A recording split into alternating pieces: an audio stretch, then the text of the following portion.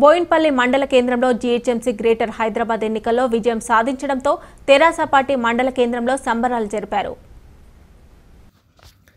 సంబరాల్లో సందర్భంగా పలువురు తెరాస నాయకులు జై కేసీఆర్ జై కేటీఆర్ జై టీఆర్ఎస్ అంటూ నినాదాలు చేస్తూ ఉత్సాహంగా పాల్గొన్నారు. ఈ కార్యక్రమంలో మాజీ ఎంపీపీ పర్లపల్లి వేణుగోపాల్ తెరాస మండల అధ్యక్షులు వెంకట్రెడ్డి మార్కెట్ కమిటీ నల్గొండ అనిల్ కుమార్ గుడ్ల శ్రీనివాస్ రమేష్ తదితరులు పాల్గొన్నారు.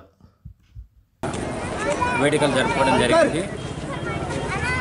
మా చొప్పదాన్ని కాన్ఫరెన్స్ నుంచి మా ప్రియతమ నాయకుడు రవిశంకర్ అన్న నాయకత్వం వహించి రహమత్ నగర్లో నూట రెండు డివిజన్లో మా మండలం నుంచి మిర్చిలో తెలంగాణ ప్రజలు హైదరాబాదు ప్రజలు టీఆర్ఎస్కు ఓటేస్తారన్న నమ్మకం కొద్దికి మేము ఎన్ని ఆట తోడుపులు తిన్నా కూడా అపోజిట్ పార్టీలు ఎన్ని నిందలు వేసినా కూడా భరించుకొని మేము ప్రచారం చేసి వచ్చినాము.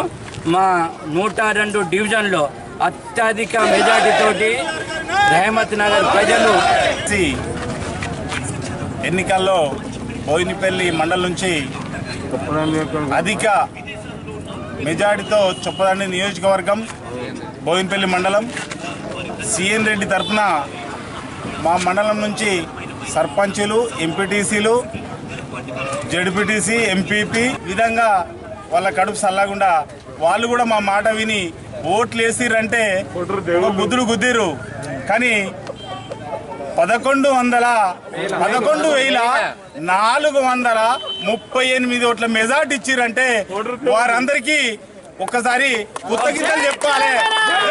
మండల కేంద్రంలో మరి గౌరవ ఎమ్మెల్యే గారు మాకు అప్పచెప్పినటువంటి బాధ్యతను రైమత్ నగరు నూట రెండో డివిజన్ను మరి అలా తన్నులు తిన్నా దెబ్బలు తిన్నా దిగ్విజయంగా పూర్తి చేసుకొని మరి ఆపర తీర్చుకుంటామని మా ఎంపీపీ గారు కానీ జడ్పీటీసీ కానీ ఎంపీటీసీలు కానీ మాకు ఒక బూత్ వైజ్గా ఇచ్చినటువంటి మా బాధ్యతను నెరవేరుస్తాము ఐదు సేవ ఐదు సంవత్సరాలు వారికి సేవకుడిగా పనిచేస్తామని తెలియజేసుకుంటూ కేసీఆర్ గారికి ఓటేసిన మా జైలందరికీ ధన్యవాదాలు.